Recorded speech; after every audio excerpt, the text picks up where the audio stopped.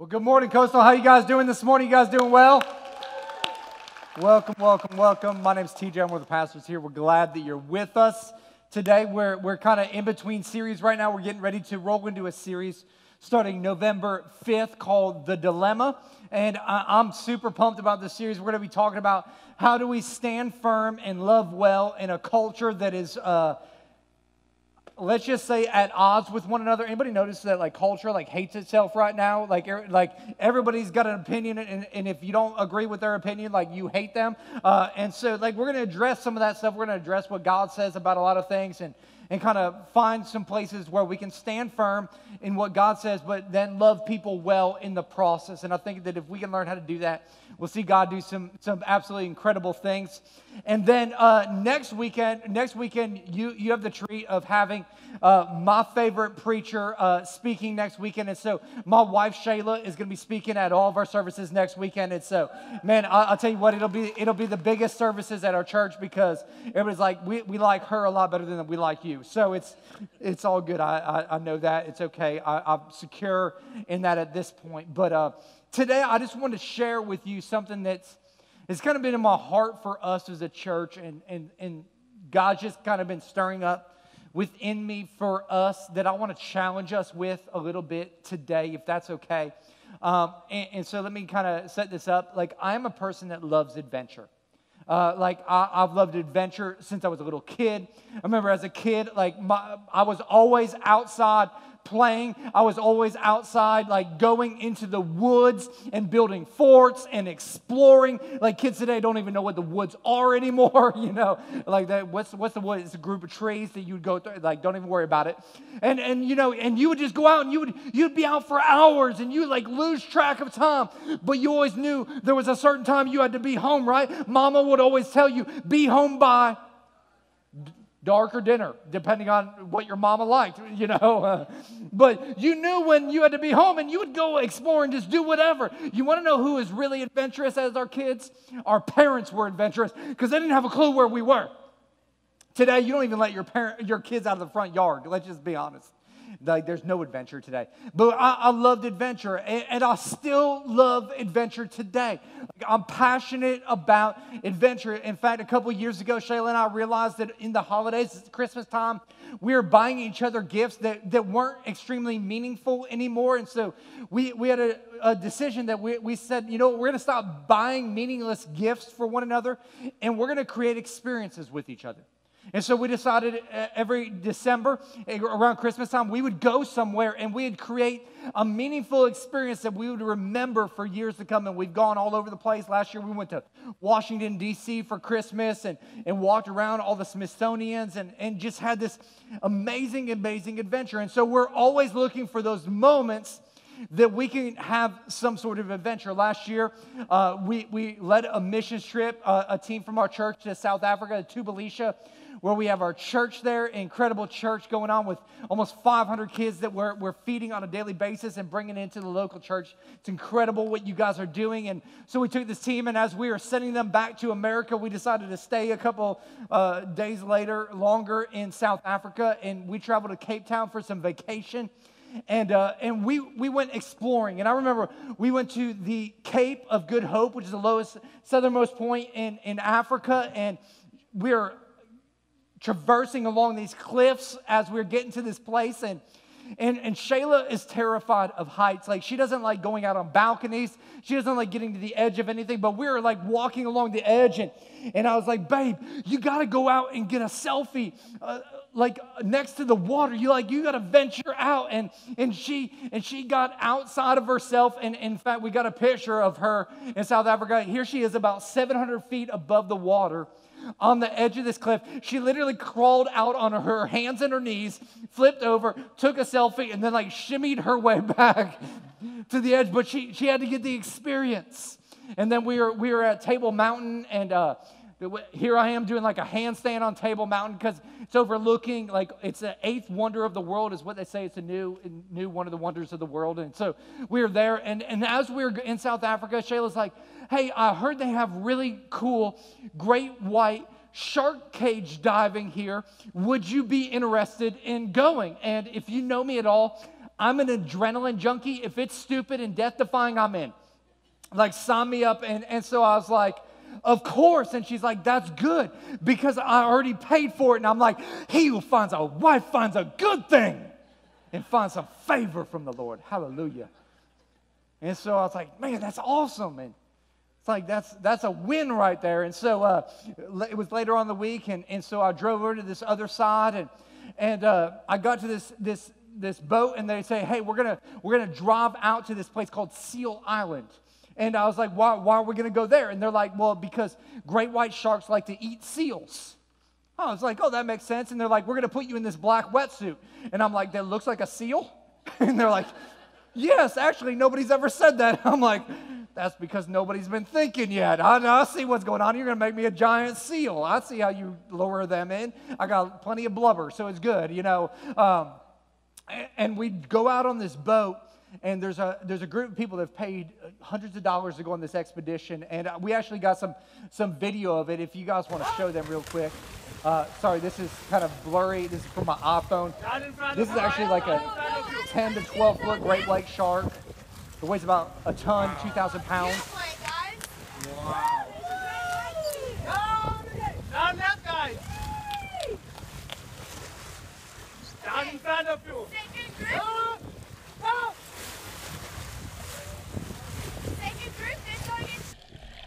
Here I am inside the, the cage, and here's a great white.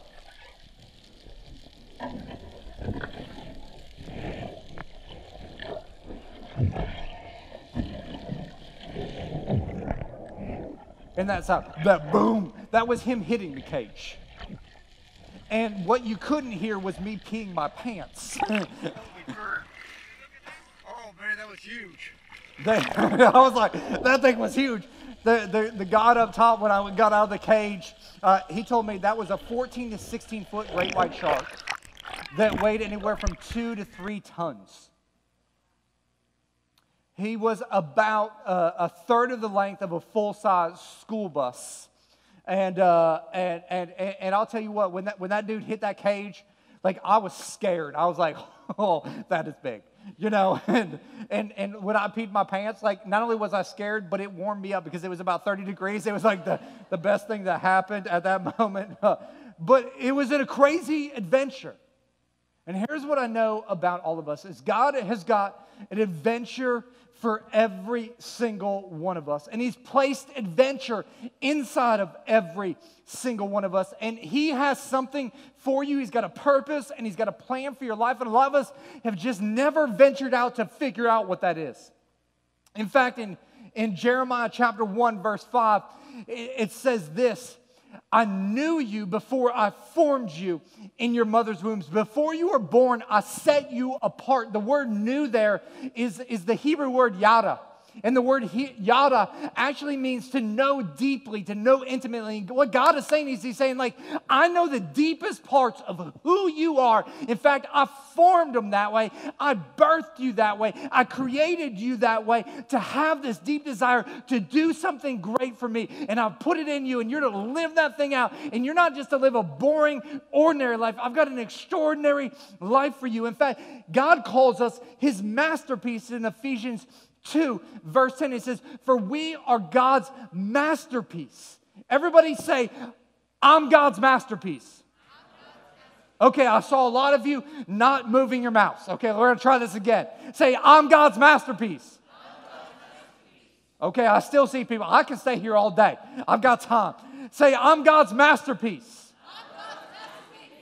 See, Susie just gets louder every time I say it. I just like. That's a, that's a funny part. She's like, if I just speak louder, he'll think more people know. Uh, you're God's masterpiece. If you're God's masterpiece, then that means that God's got a master plan. And it's time for some of us to realize that God has called each and every one of us to something great. He's got a purpose, He's got an intentionality to our lives, and we have got to search out the depths of us to figure out what that thing is. Let me just plug this. Six o'clock tonight, we have our Discover event. If you've never been to it, this is an opportunity for you to start to des- figure out how God designed you and how He created you, and what are some of the gifts that He's given you that will help you start to put some, some, uh, some skin to some dreams that are out there. And so I would encourage you to come tonight to our church office at 6 o'clock. We got childcare, we'll have food. We'd love to have you be a part of it. Uh, and, and so just shameless plug right there. Quick question How many of you love adventure? Show of hands. If you love adventure, raise your hands. Keep them up, keep them up. Okay. If you want to go on an adventure right now, stand up. Stand up. Count of three. One, two, three. Nobody else stand. Nobody else stand because you're a late adopter at this point. Like you're just following everybody else. Okay. Everybody that raised their hand that said they wanted to go on an adventure that's still sitting, uh, raise your hand again. Raise it up. Raise it up. Come on. Come on, raise it up. Raise it up high. Don't be ashamed. It's okay. Just leave it up there. I want you to know there's, there's three different groups of people in here. There's the people that didn't raise their hands at all that are sitting like this and they're like, uh uh I ain't going on an adventure. And these are the people that when they go to Chick fil A, they order the same meal every single time. I'm going to have a number one. And I want it with a sweet tea and two ketchups. No, no, no. Don't sit down. Don't sit down. Don't bend down. Come on. Come on. Then there's the second group. Come on, raise your hands again. That, that you said you wanted adventure, but you're still sitting. Come on. You're like, I love adventure, but I don't like standing. You know, that's those people. Then there's the third group. I, I want you to notice how many people are standing up here. You want to know why there's this many people standing up? Because the people at Coastal Community Church are crazy. That's why. This is the crazy group. This is my people right here. That's what I'm talking. My people. I don't even know you, but we're peoples. So you all can sit down. I just want to take a like. It's important. Now, now stay away from those people that were standing. They're crazy. They they will do this. They will they will mess you up. Here's what I know about most of us. Over time, most of us lose that adventurous spirit. It starts to deteriorate within us. We used to be adventurous, but not really so much anymore.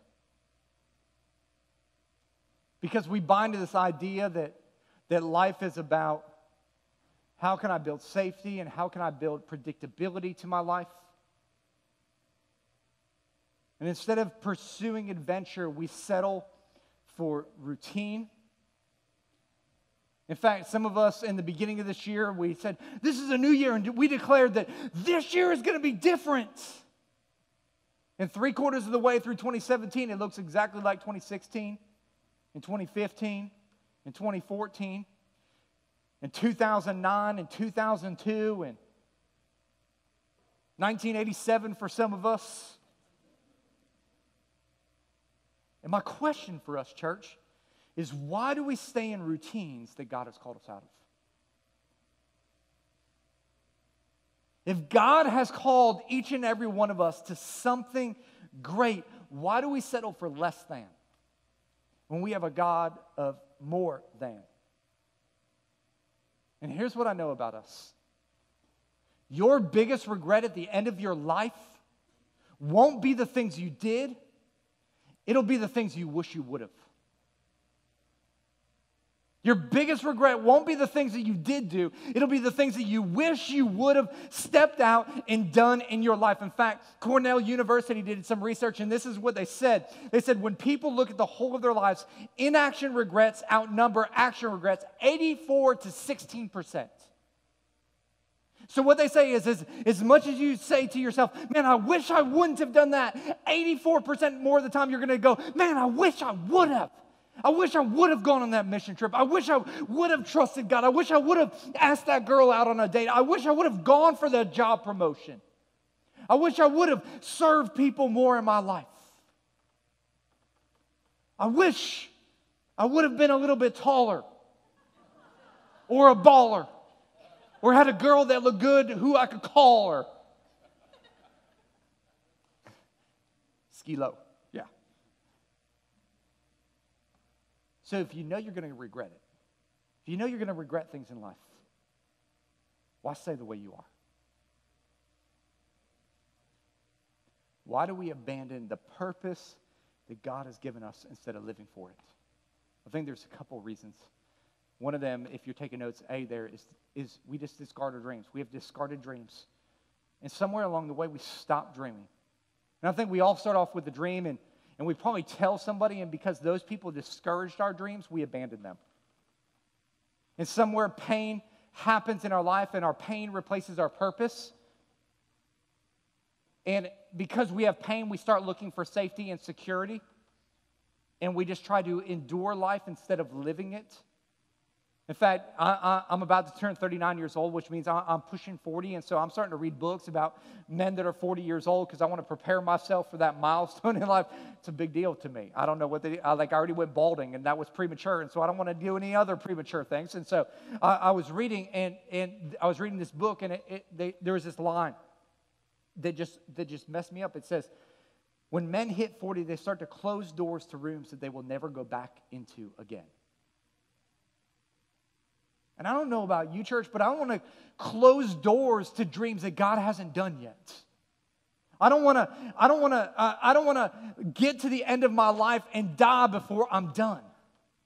Like I believe that God has still has something great inside of me, and I believe that God has still got something great inside of you, and we've got to pursue that purpose with everything that we've got, and we can't just discard those dreams because we had a bad day or we endured some pain in life. Because listen, all of us are going to have those kind of days. All of us are going to have those kind of moments. And we're not the only ones that have it. Job in Job chapter 17 had one of those moments. He had lost his wealth, he had lost his kids. His, his wife had told him, Man, why don't you just curse God and die? So he was in a troubled marriage. And this is what he says in Job 17 11 My days are over. My hopes have disappeared. My heart's desires are broken. But God wasn't finished with Job even when he thought God was done with him. And a lot of us give up on God before God has given up on us. And if we give up in the middle of a trial or if we give up in the middle of pain, that trial and that pain a lot of times is preparing us for our purpose in life. And we just need to push through those moments. And I just want to encourage you, church, don't give up when you're in the middle of getting where you're going. Don't just put your life on autopilot and endure life. And I believe that a lot of us in here today are living on autopilot. We're just going through life, just letting the days pass us by. And we're like, we can go through a day and, like, hey, how was your day? And you got the same responses every single day. What'd you do today? I got up, I drank a cup of coffee, I drove to work, I worked, I came home, I watched TV, I turned it off, I went to bed. Every day. We have autopilot responses to things. I'll give you an example. Hey, how are you doing?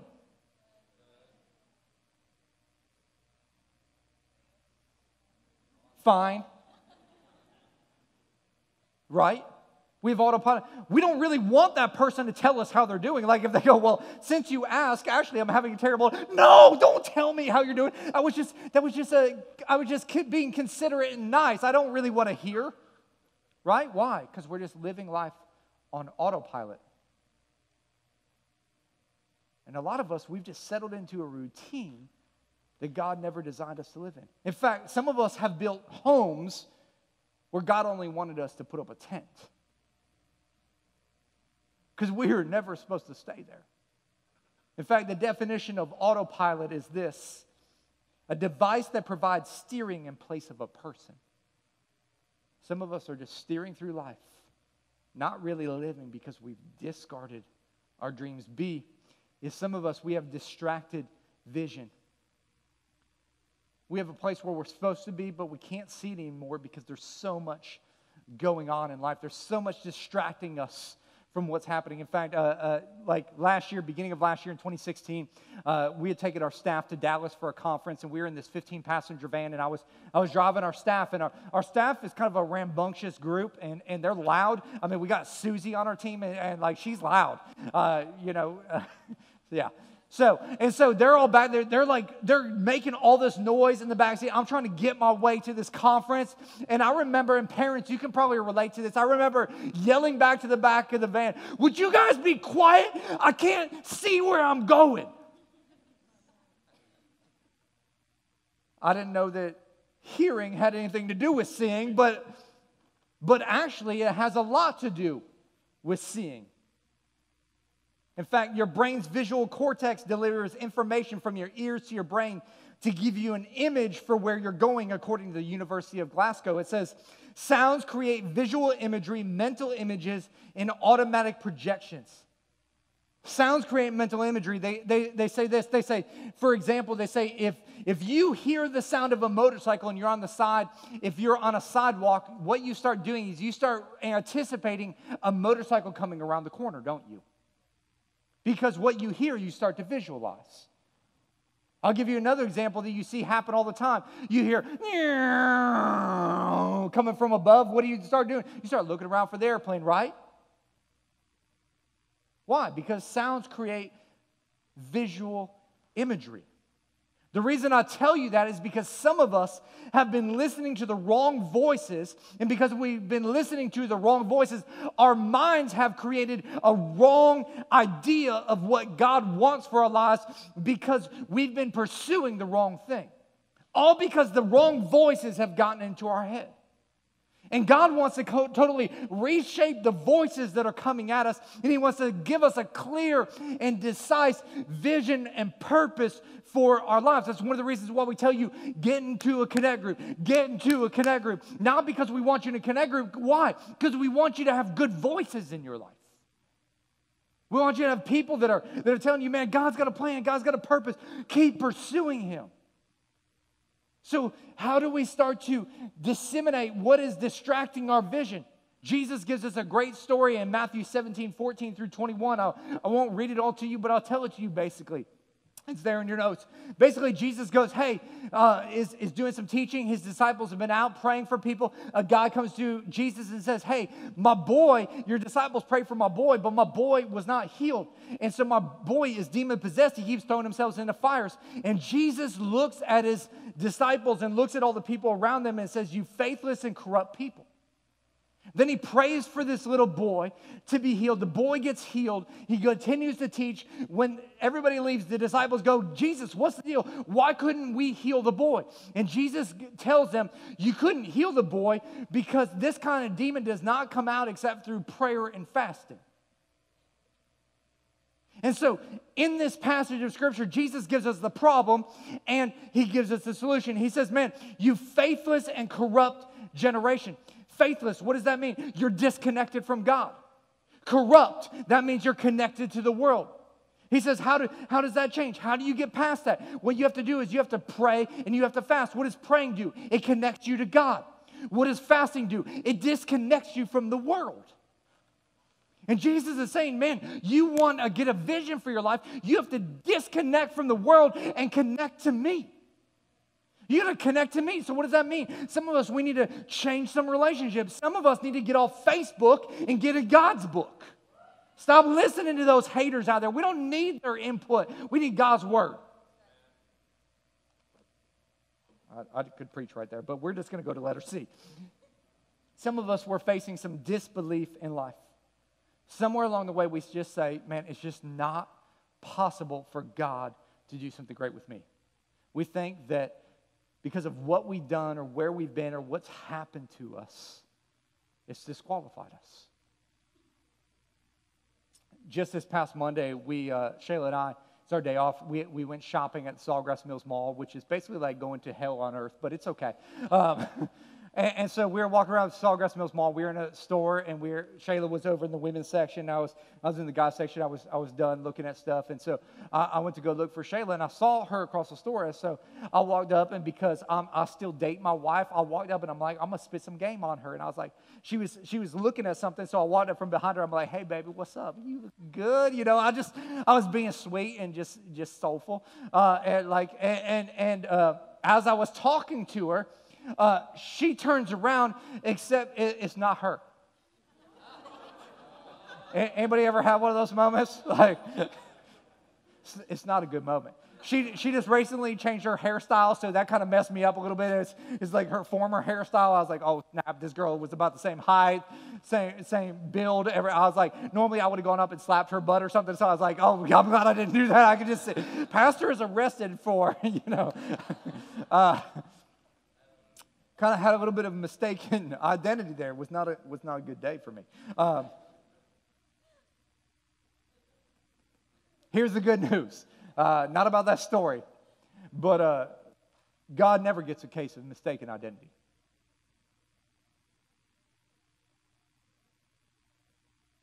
God knows who He calls, and He calls who He knows. He called you. He did not make a mistake. He's called you to an incredible, passion filled life.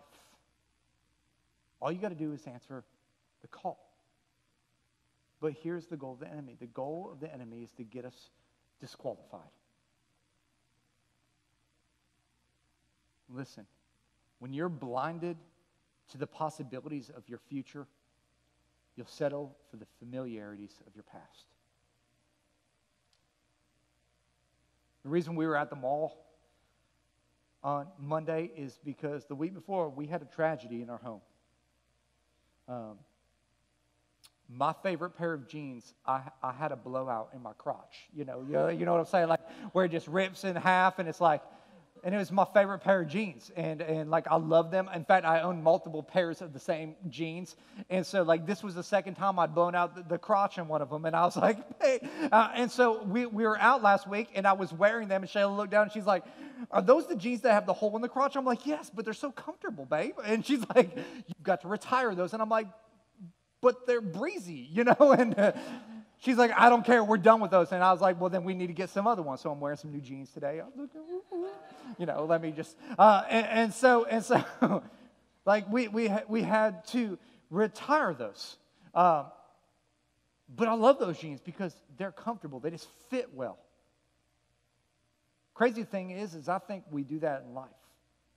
We're sitting in an old mentality when God has called us to something new.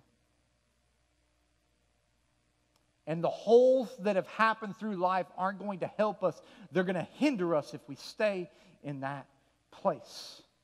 And God says, I've got something new for you, and you need to step into a new experience instead of living in your old one. So, how do we discard those mentalities and move forward? Number one, if you're taking notes, man, you've got to start to believe again. You got to believe that God called you and can use you. And I know that you're going to tell me, well, you don't know what's happened. You don't know how many mistakes I've made. You don't know how bad I've messed up. listen, listen, you need to hear this. Good thing God isn't looking for perfection. All He's looking for is some progress. He's looking for you to take a step. He's not asking you to take 37 steps. He's saying, hey, today, why don't you just take one step? I mean, all you got to do is look at the 12 disciples to realize that, that God isn't, isn't looking for the most qualified people. In fact, if you were to look at the 12 disciples, you would realize that they were rejected by society, they were rejected by man, they were working in their father's businesses, which meant that when rabbis looked at them, they said, they're not good enough, they're not qualified to be on this level. They're just going to be average, normal, mundane people. And Jesus looked at what the world called average or less than and says, hey, I want you. I'm calling you. And you know what Jesus is saying to you today? He's saying, Hey, I call you. Hey, I call you. I don't care what the world says, I call you. And Peter and John, they took that call literally. And in Acts chapter 4, verse 13, they're out doing some incredible things. And it says, The member of the council, the, the, the really smart people, the Sanhedrin, were amazed when they saw the boldness of Peter and John, for they could see that they were ordinary men. That word ordinary men in the Greek is translated as idiota. You know what that stands for in our English language? Idiots. So they said, hey, we recognize that these dudes are idiots. They were amazed that, that God could use idiots. You want to know why God can use idiots? Because it's at the end of this verse. It says they also recognized them as men who had been with Jesus. Listen, you don't have to have it all together. All you got to do is get and spend some time with Jesus and believe that He can use you. He doesn't call the qualified, He qualifies the called. He's called every single one of us to live out the adventure. And the closer you get to Jesus, the more that you're going to realize that He's got something personally for you. And that's going to start to awaken within your spirit. And all of a sudden, you're going to be like, man, I, I can't live without doing this thing. when that starts to happen, what you need to do is number two, you need to go all in. Go all in. You gotta say, God, man, with everything that I got, man, I'm diving in. Hook, line, and sinker. Man, I'm all in for you. I don't care what you ask. I don't care where you call me to go. Man, I'm going all in for you. And I remember when, I, when, I, when we made this decision as a church, I remember we were about less than a year old. We probably had 90 people showing up at church, and, and, and God started birthing this idea that these kids in Collier City, they needed, they needed backpacks and school supplies to go back to school if they're ever going to be able to break the cycle that was going on in their life. And I was like, man, as a church, we're going to do that. We're going to, I went to a local school day. I was like, how many backpacks and school supplies do you need? They're like, we probably need a thousand. I was like, oh, okay, we have 90 people. I don't, the math there doesn't work. And so we came with this idea.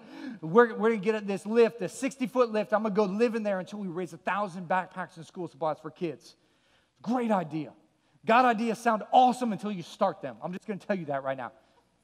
I remember what it is, is a, it, I forget what day it was. It was about seven o'clock at night. I started going up in this lift. We had this big poster that said, or a banner that said, "Raising a thousand backpacks for uh, uh, Collier City kids uh, and school supplies." And and that first night, we had a torrential downpour. Now I don't know if you've ever been in a sixty-foot lift without like an umbrella or a rain jacket in a in a torrential downpour with lightning, but not the smartest move. And then, uh, and so I was freezing my, my butt off, honestly. And then the next day was like the hottest day of summer. It was like 100 degrees out. And, and that day, instead of being freezing cold, I got sunburned. And, and by the end of that day, we had raised about 12 backpacks. I was like, Jesus, we're killing it right now.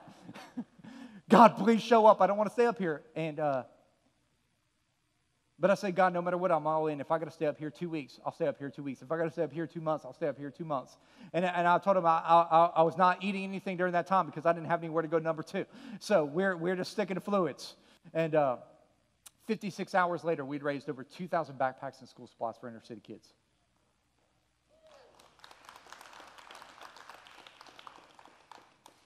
Why? Because we were willing to go all in. We are willing to become foolish for God. Because here's the deal you can never build God's reputation if you're worrying about your own. Some of y'all need to hear that today. You're really worried about, well, what do people think? Who gives a rip what people think? They're not thinking about you, anyways. They're thinking, what do people think about me? They're thinking about themselves. Start building God's reputation. Watch your reputation get built. One of my favorite stories in the New Testament is the story of the five loaves and two fish. And it's a story where Jesus is teaching, and uh, there's about 5,000 men, the Bible says, which equals 20 to 25,000 men, women, and children. And uh, at the end of the day, his disciples are getting hungry, and so they come to Jesus and said, Hey, why don't you send the people away? So they can go get something to eat because we don't have food to feed them. And Jesus looks at his disciples and says, Hey, you feed them. His disciples are like, Say what? You know, they're just like, I, am not sure you, you understood what we said. He's like, no, no, no, you, y'all feed them. And so they go back and they go and they grab what they have, which isn't much. Basically, they steal a, a doggy bag of five loaves and two fish from the kid that went to Long John Silver's, which is a terrible, terrible meal in and of itself. And so they bring it to Jesus and say, hey, we, we don't have enough to feed these people. All we got are these five loaves and two fish. You know what Jesus says? He says, that's enough. Give it to me, which is number three. Whatever you have, you just got to put it in the hands of Jesus. You want to fulfill the adventure that God has for your life. You just got to put what you have in the hands of Jesus. And Jesus takes those five loaves and those two fish, he breaks it and he blesses it and he puts it back in the hands of the disciples. And they go out and they feed the 20,000 people. And they end up having 12 basketfuls left over. Here's what I know about life is that people always comes up with excuses. I'm not talented enough. I don't have the skills. I don't have enough money. I don't have the influence. Listen. Whatever you have is enough in the hands of Jesus. Stop disqualifying yourself. In fact, in Colossians chapter 1, it says, In everything, Jesus is in everything. So all we have to do is give him something and he can create everything out of it. And I know that some of you are thinking about your own life and you're like, God, I don't have anything to offer. You have you. And if you would just say, God, here I am. Like, I give you what I have, and I'm willing to step out. Man, I promise you, God will start to show up. In fact, I love uh, the Acts 10 35, uh, the second part of that, I put a whole bunch more in there. It says, It makes no difference who you are or where you're from. If you want God and are ready to do as He says, the door is open. Susie, if you want to make your way up, listen, it makes no difference who you are or where you've been or what you've done. If you want God and you want to pursue the purpose and plan that He has for your life, God says, the door is open. It's not closed, it's not shut off. All we have to do is step through. All we have to do is take that step. It says if we draw near to God, we got to take the first step. He'll draw near to us. Some of us is it's time for us to walk through the door. It's time for some of us to take the step. It's time for some of us to Stop living out of memory. Start living out of the imagination that God has for us. Would you guys bow your heads and pray?